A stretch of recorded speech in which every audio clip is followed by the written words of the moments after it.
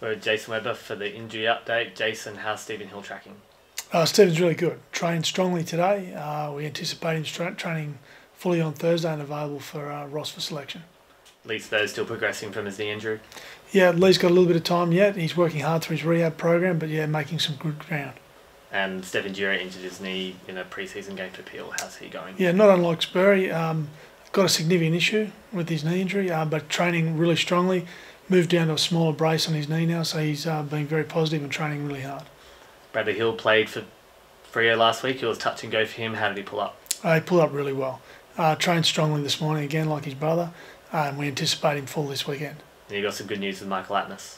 Yeah, Michael made a really strong comeback. Uh, played very well on the weekend, I understand. Um, we look forward to having him available for full, for full selection this week. Is that a full game for Peel? Yes, it was. Right. Thanks, Jason. Thank you.